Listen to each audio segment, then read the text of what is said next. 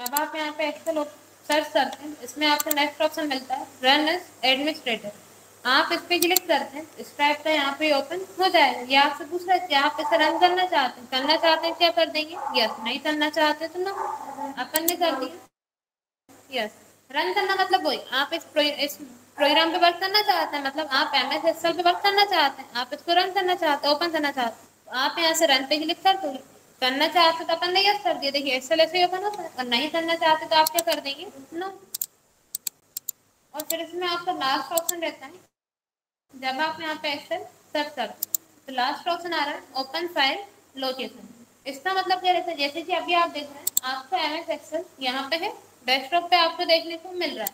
जैसे अपन ने इसको डेस्कटॉप पे से डिलीट कर दिया। अब आप इसमें देख रहे हैं डेस्कटॉप पे आपको एक्सेल देखने को नहीं मिल रहा। आप एक्सेल डेस्कटॉप लाना चाहते तब आप क्या करते हैं? यहाँ से विंडो बटन क्लिक करेंगे सर्च बार में आप एक्सेल सर्च कर लेंगे अब आप इस पर राइट क्लिक करेंगे ऑप्शन आ रहा ओपन फ़ाइल लोकेशन आपने इस पर क्लिक किया। देखिए, इस टाइप से यहाँ पे ओपन हो जाएगा। अब आप इसकी लोकेशन देखना कहाँ ओपन हुआ है पहले ये? प्रोग्राम एंड डेटा में। फिर उसके अंदर माइक्रोसॉफ्ट फिर विंडो फिर स्टार्ट मेन्यू प्रोग्राम और फिर माइक्रोसॉफ्ट ऑफ़िस 2013 और अपन ने क्या किया? जैसे ही ओपन फ़ाइल लोकेशन पे क्लिक किया, अपन को सेम यहाँ पे फोल्डर ओपन मिल गया।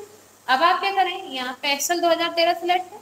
आप इस पे राइट क्लिक करेंगे क्रिएट शॉर्टकट पे क्लिक कर देंगे।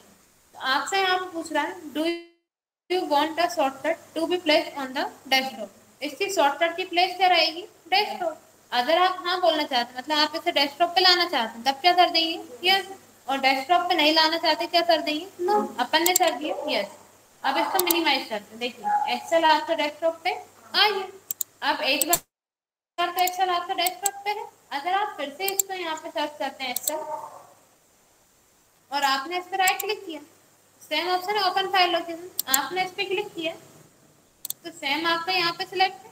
आप इस पर राइट क्लिक करके क्रिएट शॉर्टकट पे क्लिक करेंगे।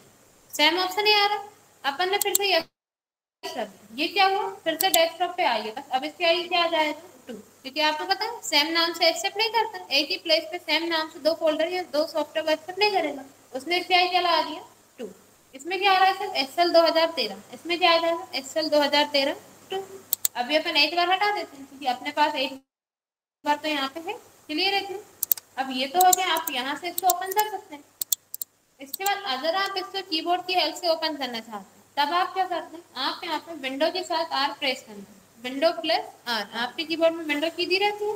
आप विंडो की के साथ आर प्रेस करेंगे। तो यहाँ पे क्या होगा? रन कमांड ओपन हो जाएगा। अब आपको यहाँ पे सर्च करना है एक्सेल आप यहाँ पे एक्सेल सर्च करेंगे। फिर आप देख रहे हैं यहाँ पे ओके लिखना। है आप ओके पे क्लिक कर देंगे कीबोर्ड से एंटर कर दें आपका एक्सेल यहाँ पे इस टाइप से ओपन हो जाएगा। आ जाएगा एक्सेल ओपन करना। अब आप एक्सेल जैसे ही ओपन करते हैं, इस टाइप से एक्सेल ओपन हो है। यहाँ पे आपको जो देखने को मिल रही है। यहाँ पे आ रही है रिसेंट फ़ाइल मतलब जो अपन पहले एम एस एक्सेल में तैयार कर चुके हैं, वो फ़ाइल आपको यहाँ पे देखने को मिल रही है। और यहाँ पे आ रहे हैं टेम्पलेट अब आप इसमें से जिस भी अकॉर्डिंग इसमें वर्क करना चाहते हैं, सबसे फ़र्स्ट क्वेश्चन अपन एम एस एक्सेल में वर्क क्या करते हैं? जैसे आप जब एम एस वर्ड में वर्क करते थे एम एस वर्ड में क्या करते थे? आपको कभी नोट्स तैयार करने होते थे सर्टिफिकेट बनाना होता था। अपन को इन्विटेशन तैयार करना होता था लेटर वगैरह। ये सब किसमें बनाते थे? एम एस वर्ड अब आपको कोई सी सीट तैयार करना है, जैसे कि आपको सैलरी लिस्ट बनाना है स्टूडेंट की मार्कशीट वगैरह तैयार करना है, ये सब आप किसमें तैयार करते हैं? एक्सेल में। मतलब जितना भी सीट से रिलेटेड वर्क होता है, वो सब आपको किसमें होता है? एक्सेल में। जैसे अभी आप देख रहे हैं, यहाँ पे आपको ये टेम्पलेट देखने से मिल रहे हैं। आ रहा है यहाँ पे। आप इसमें देख रहे हैं, जैसे कैलेंडर वगैरह आपको तैयार करना है, ये सब आप इसमें कर सकते हैं? एम एस एक्सेल आप इसे इंस्टॉल करेंगे और आपको यहाँ पे देखने को मिल जाएँगे। इस टाइप से आपको फिर चार्ट वगैरह बनाना है। तो आप ये सब वर्क किसमें कर सकते हैं? एम एस एक्सेल में। क्लियर है अब आप देखेंगे। अभी आपको यहाँ पे सर्च का ऑप्शन भी देखने को मिल रहा है। अगर आप इसमें टेम्पलेट सर्च करना चाहते हैं, आप यहाँ पे सर्च भी कर सकते हैं। अभी अपन यहाँ से क्लिक करते हैं ब्लैंक वर्कबुक आप यहाँ से ब्लैंक वर्कबुक पे क्लिक करेंगे। इस टाइप से एक्सेल अपने सामने ओपन हो जाएगा। आ जाएगा इसमें? अब आप देख रहे हैं, सबसे ऊपर आपको जो देखने को मिल रहा है, यहाँ पे लिखा है, बुक वन, माइक्रोसॉफ्ट एक्सेल। इसको अपन बोलते हैं टाइटल बार। अब इसको आप टाइटल बार क्यों बोलते हैं? क्योंकि आप इसे जिस भी नाम से सेव करें मतलब इस पर आप वर्क करने के बाद उसको आप जिस भी नाम से सेव करोगे, वो नाम आपको यहाँ पे देखने को मिल जाएगा। इसे इसको आप क्या बोलते हैं? Title bar. यहाँ पे आपको टाइटल शो करवा देगा। उसके बाद आप देख रहे यहाँ पे आपको देखने को मिल रहा है, होम, इंसर्ट पेज लेआउट। ये home tab insert tab page layout tab ये सब आपके टैब है। जब आप इन सब के साथ में बात करते हैं, तब अपन इसको क्या बोलते हैं? मेन्यू ये पूरा आपका रहता है मेन्यू बार अगर आप सिर्फ़ होम अकेले की बात कर रहे हैं, तब आप इसे बोलते हैं tab home tab insert tab page layout और ये पूरा साथ में क्या रहता है? मेन्यू बार अब आप देखिए, इसके ऊपर आपको यहाँ पे देखने को मिल रहा है। तो इस कस्टमाइज एक्सेस टूल बार देखिए, अभी आप इस पर क्लिक करेंगे, तब भी आपको यहाँ पे देखने को मिल जाएगा। कस्टमाइज क्विक एक्सेस टूल अब आप इसका यूज़ क्या रहता है? इसका यूज़ होता है। जैसे कि आप इसमें से कुछ ऑप्शन यहाँ पे पिन करके रखना चाहते हैं। तब आप क्या करते हैं? इस पर क्लिक करें ऑप्शन आ रहा है। Customise quick access tool bar अब जैसे आप अभी ओपन यहाँ पे पिन करके रखना चाहते हैं। अभी आप यहाँ पे कोई भी सीट ओपन करनी होगी, तब आप क्या करेंगे? फ़ाइल मेन्यू पे जाके यहाँ से ओपन पे क्लिक करेंगे। तब अपन यहाँ से इसको ओपन कर सकते हैं। अगर आप चाहते हैं, आप इसे यहीं पे पिन करके रखना चाहते हैं, तब आप क्या करेंगे? ओपन पे क्लिक कर देंगे देखिए, यहाँ पे ऐड होगी। अपन ओपन पे क्लिक करेंगे। डायरेक्ट अपन यहाँ पे आ जाएँगे। इस तरह से आप यहाँ पे इसे ऐड करके रख सकते हैं। इसके अलावा भी आपको यहाँ पे और ऑप्शन दे रहे हैं। अब ये तो ऑप्शन आपको यहाँ पे मिल रहा है। अगर आप इनमें से कुछ यहाँ पे पिन करके रखना चाहते हैं, इन ऑप्शन में से कुछ, तब आप देखिए, आपको वो यहाँ पे देखने को नहीं मिल रहा नहीं आ रहा तब आपको यहाँ पे ऑप्शन आ रहा मोर कमांड आप इस पे क्लिक करेंगे स्ट्रक से यहाँ पे ओपन हो जाएगा। अब ये वो ऑप्शन है जो वहाँ पे ऐड है। और ये वो ऑप्शन है जो आप वहाँ पे ऐड करना चाहते हैं। जैसे अपन ने ले लिया, यहाँ पे फिल कलर आपने सिलेक्ट किया ऐड पे क्लिक कर दिया। आ गया यहाँ पे अब आपने इसको यहाँ से ओके कर दिया। देखिए ऐड हो गया। यही है आपका फिल कलर यही आपका यहाँ पे ऐड हो गया। अगर आप इसे अनपिन करना चाहते हैं मतलब यहाँ से रिमूव करना चाहते हैं, तब आप क्या करेंगे इसके ड्रॉप डाउन एरो पे क्लिक करेंगे। ऑप्शन आ रहा है मोर कमांड इस पर ही आप क्लिक करेंगे। अब आप देखिए अभी आप यहाँ से कुछ भी सिलेक्ट करते हैं, तब ऑप्शन कौन सा हाईलाइट होता है? ऐड वाला। अपन को क्या करना है? रिमूव तब आप कहाँ सिलेक्ट करेंगे? यहाँ से। अब आपने फिल कलर पे क्लिक किया। रिमूव का ऑप्शन हाईलाइट हुआ। वो ऐड का तो आपका हमेशा होता रहता है, लेकिन आप देखते हैं, जब अपन यहाँ से सिलेक्ट करते हैं, तब आपका सिर्फ़ कौन सा होता है? ऐड का। अब यहाँ से भी अपन ने सिलेक्ट किया था तो अब दोनों हाईलाइट हो गए। लेकिन पहले आपका सिर्फ़ कौन सा होता है? ऐड का। या अपन ऐड कर सकते हैं। रिमूव का कब होगा जब आप उसे यहाँ से सिलेक्ट करोगे।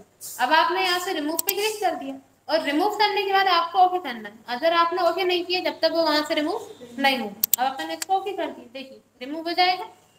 इतना आ जाएगा। इसके बाद आप देख हैं, इसके जब अपन यहाँ से ड्रॉप डाउन एरो क्लिक कर रहे हैं। लास्ट ऑप्शन आ रहा है। सो ग्लो द रिबन अगर आपने इस पर क्लिक कर दिया, तब ये क्या होगा? आपको रिबन बार के नीचे सो जाए आ रहा अभी नीचे आ रहा अगर आप इसको वापस रिबन के ऊपर पहुंचाना चाहते तब क्या करेंगे? इससे ड्रॉप डाउन एरो पे क्लिक करेंगे। अब ऑप्शन क्या आ रहा है? सो एबव द रिबन इस पर क्लिक कर देंगे। और इसके ऊपर के बाकी जो ऑप्शन है सब वही आप जो भी ऑप्शन है यहाँ पे पिन करके रखना चाहते हैं ऐड करके रखना चाहते हैं। कर लेंगे उसके बाद आपने देखा अपन होम टैब पे क्लिक कर रहे हैं तो यहाँ पे ऑप्शन अलग आ रहा है। इंसर्ट टैब पे जाएँगे तो ऑप्शन अलग आएँगे। इसको आप बोलते हैं रिबिन बार ये पूरा होता है रिबिन बार अब रिबिन बार में अलग अलग ग्रुप बने क्लिप बोर्ड का फॉन्ट का अलाइनमेंट का इसमें अलग अलग ग्रुप बने जाते हैं। अब ग्रुप किससे मिलके बनते हैं? ग्रुप आपके बनते हैं कमांड से मिलती कमांड से मिलती ग्रुप और ग्रुप से मिलती पूरा रिबिन बार बाद आप देख रहे हैं यहाँ पे आपको कंट्रोल एरिया देखने को मिल रहा है। जिसमें फ़र्स्ट है मिनिमाइज अगर आप इसे मिनिमाइज कर देंगे, वो आपको टास्क बार में शो हो जाएगा। यहाँ से आप इसे ओपन कर सकते हैं। फिर नेक्स्ट है, देखिए, अभी ऑप्शन क्या आ रहा है? रीस्टोर डाउन इसको क्लिक करेंगे तो ये यहाँ से रीस्टोर हो जाएगा। अब आप इसको यहाँ से मूव भी कर सकते हैं। इसकी आप यहाँ से विथ और लेंथ वगैरह अपने अकॉर्डिंग छोटी बड़ी भी कर सकते हैं। देखिए इसमें माउस पॉइंटर लेके जाएँगे चेंज हो गया। अपन इसकी लेंथ यहाँ से बड़ी कर सकते हैं और हाइट विथ भी सॉरी अगर आपको विथ भी बड़ी है छोटी करना है, वो भी आप यहाँ से कर सकते हो। अब आप इसमें माउस पॉइंटर लेके जाएँगे। अब ऑप्शन आएगा मैक्सिमाइज अब इस पर क्लिक करेंगे तो ये यहाँ से मैक्सिमाइज हो जाएगा। और लास्ट है क्लोज क्लोज करेंगे तो क्या होगा? एम एस एक्सएल अपना क्लोज हो जाएगा। ठीक है, फिर इसमें आपको एक ऑप्शन यहाँ पे देखने को मिलता है रिबिन डिस्प्ले ऑप्शन आप इस पर क्लिक करेंगे तो यहाँ पे ऑप्शन देखने को मिलता है। सबसे फ़र्स्ट क्या है ऑटो हाइड रिबिन अगर आपने इस पर क्लिक कर दिया, देखिए, अपने यहाँ पे रिबिन हाइड हो जाएँगे। फिर आप इस पर क्लिक करते हैं। नेक्स्ट ऑप्शन क्या है? सो टैब सिर्फ़ आप यहाँ पे टैब शो करना चाहते हैं, तब आप इस पर क्लिक कर दीजिए।